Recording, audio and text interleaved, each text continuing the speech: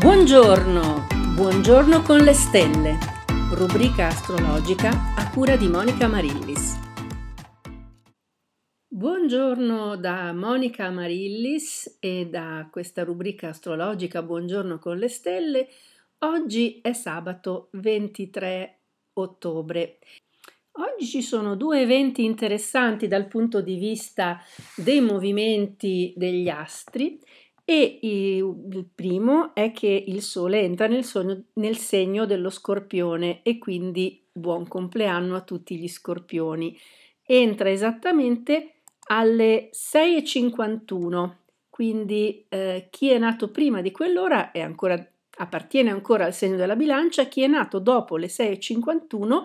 ora ovviamente eh, estiva eh, italiana, eh, appartiene al segno dello scorpione. Inoltre la luna entra nel segno dei gemelli. Gemelli e scorpione sono i segni più intelligenti dello zodiaco perché vedono eh, la presenza di Mercurio. Mercurio è il pianeta dell'intelletto, dell'umorismo, della percezione, della velocità e Mercurio è domiciliato nei gemelli ed è esaltato nel segno dello scorpione.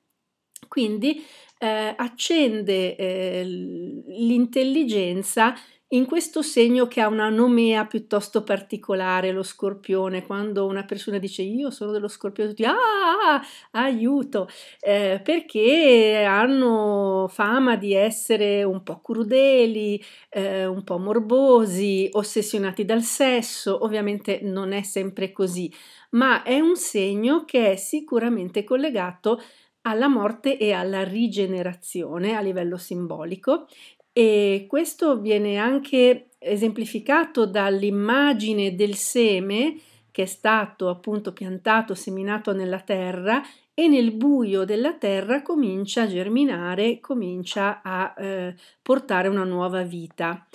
Ecco dunque spiegato eh, il motivo per cui lo scorpione ama occultare, ama nascondere, non ama farsi vedere per quello che è. Eh, ma eh, non c'è solo questo come motivo, eh, cioè il simbolismo del seme sottoterra, quindi nel buio, che ancora non si sa, ma porta il germe della nuova vita.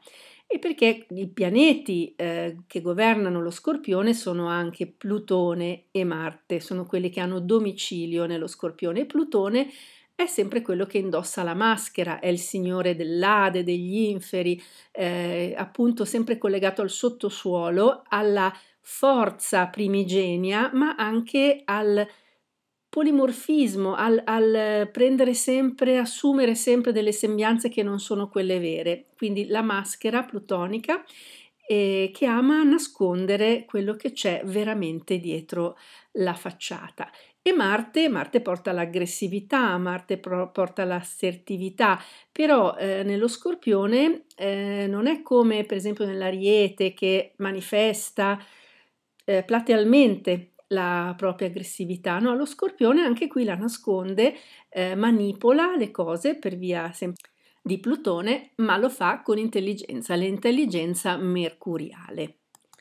Gli scorpioni danno il meglio di sé sotto pressione, eh, quando tutto sembra ehm, essere finito, rovinato, ebbene loro danno il meglio di sé, veramente riescono a risorgere dalle ceneri. Hanno anzi bisogno di dramma nella loro vita. Se le cose sono troppo lisce, troppo facili, troppo semplici, si annoiano e quindi hanno bisogno di movimentare eh, la situazione.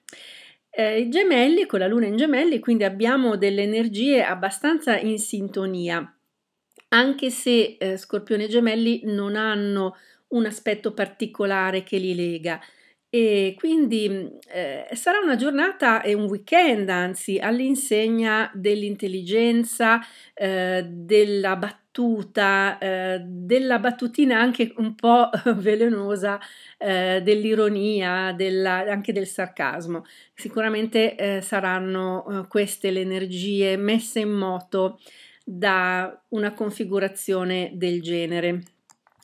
ma viste le tensioni che eh, si sono accumulate anche a livello eh, planetario, astrologico, vi ho parlato di questa quadratura tra Marte e Plutone, che è un po' una specie di eh, blocco eh, tra forze eh, maschili e anche abbastanza deflagranti. Quindi questa leggerezza della luna in gemelli ci vuole. Eh, il sole in scorpione ehm, crea magari più dramma di quello che sarebbe necessario, però la luna in gemelli ha la capacità di sciogliere le tensioni per l'appunto con una battuta, con l'intelligenza, visto che tra l'altro la luna ehm, formerà anche un trigono, cioè un bel aspetto con Saturno, Saturno razionalità,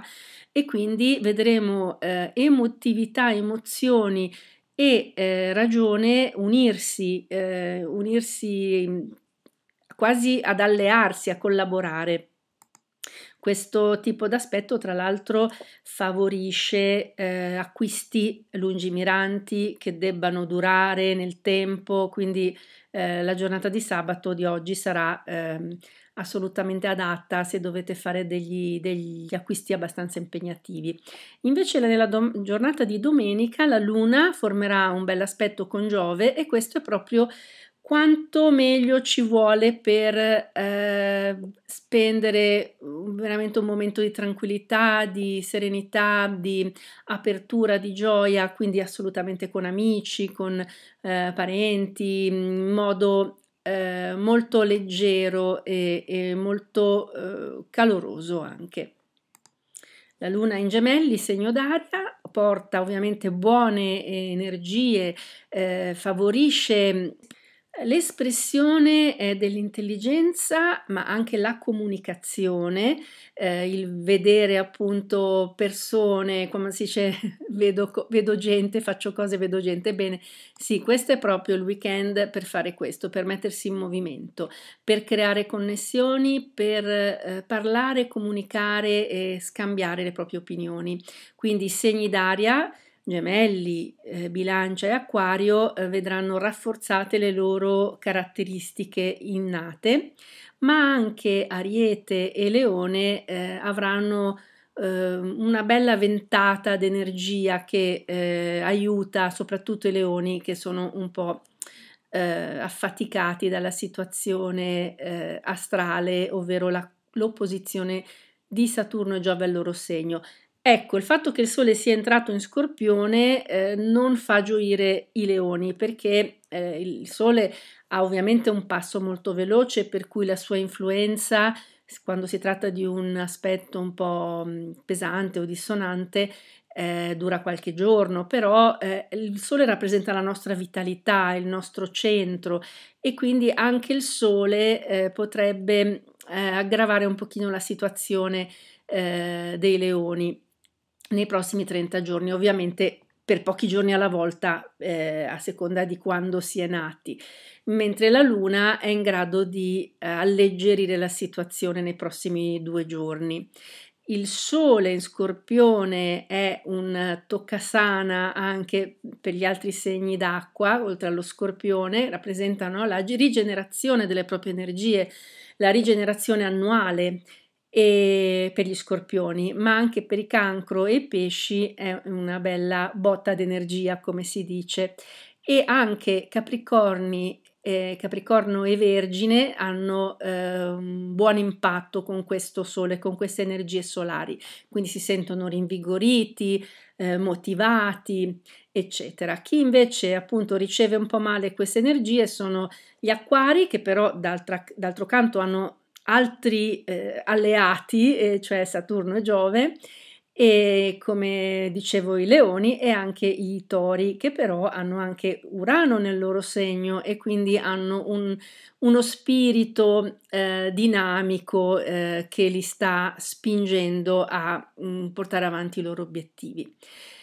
Per quanto riguarda invece la Luna in gemelli, salto un po' dal Sole alla Luna, sono questi oggi eh, i pianeti, non sono pianeti, sono luminari, sono il Sole la nostra stella e la Luna il nostro satellite, eh, però insomma in astrologia poi vengono spesso definiti eh, pianeti insieme agli altri perché fanno parte del nostro sistema solare, ma in realtà sono i luminari. Quindi eh, la Luna in gemelli, ehm, abbiamo già visto chi, quali sono i segni che eh, hanno piacere eh, di avere questo tipo di energia eh, attraversare la loro vita, mentre chi eh, reagisce un po' male, quindi emotivamente si sente un po' disturbato, sono i sagittari, i vergini e i pesci, che però, abbiamo visto prima, hanno d'altro canto le energie solari a loro favore, quindi è un po' un equilibrio che si crea, è un gioco di equilibri come spesso è l'astrologia. Scorpione e Gemelli non hanno solo in comune Mercurio, eh, hanno anche in comune Plutone, infatti Plutone è esaltato eh, nel segno dei Gemelli, e, mh, mm, mentre Mercurio è esaltato nel segno dello Scorpione e appunto eh, Mercurio è signore dei Gemelli e Plutone è signore dello Scorpione. C'è quindi una Mm, una grande risonanza tra questi eh, due segni, come dicevo, tra i più intelligenti eh, dello zodiaco, ma anche quelli che più amano eh, l'ironia o il sarcasmo. L'ironia è più eh, dei gemelli, il sarcasmo è più dello scorpione e anche eh, la trasformazione, il mascheramento, che però nei gemelli diventa più eh, finzione teatrale, finzione scenica, gioco, scherzo, eh, voglia di ehm, mascherarsi per giocare, mentre invece, come dicevo prima, nello scorpione è più, eh, più simile al dramma. Lo scorpione che ama nascondere di solito parla poco, mentre invece il gemelli parla molto e eh, parla poco per eh, celare qualcosa lo scorpione. Eh, ci sono dettagli della sua vita che a volte nessuno conoscerà mai perché non li rivelerà mai. E quindi la menzogna, che per i gemelli è più che altro un gioco, un prendere in giro, un, uno scherzare, per, eh, il, per, lo scorpione è un'arte, è un piacere creativo, eh, quasi fine a se stesso più che utilitario.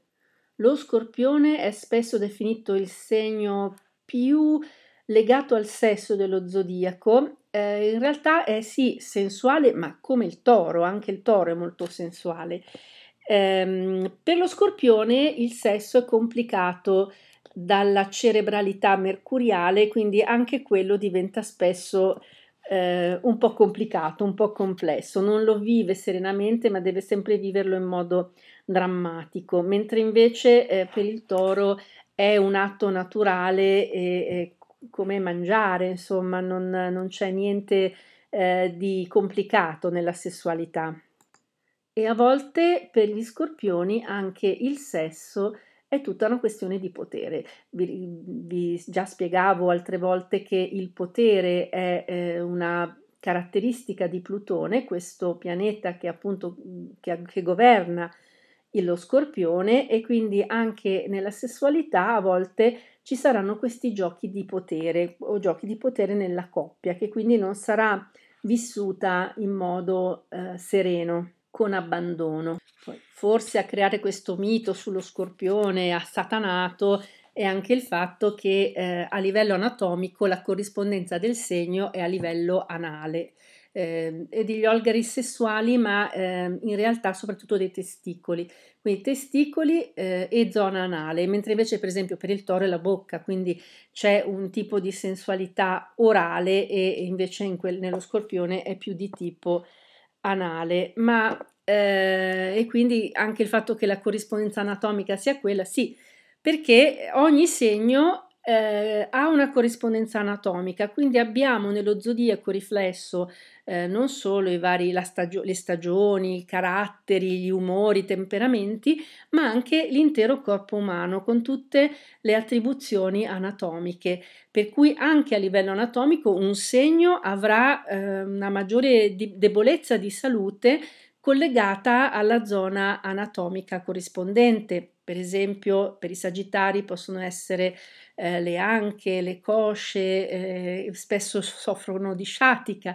eh, e appunto gli scorpioni spesso potrebbero avere eh, problematiche di infezioni ehm, sessuali, eh, ragadi, eh, problematiche e infezioni collegate alla zona anatomica corrispondente al segno.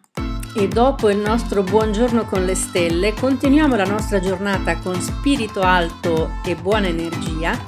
E vi ricordo che se volete un consulto astrologico mi trovate sul sito www.monicaamarillis.com oppure potete scrivermi all'email info-monicamarillis.com.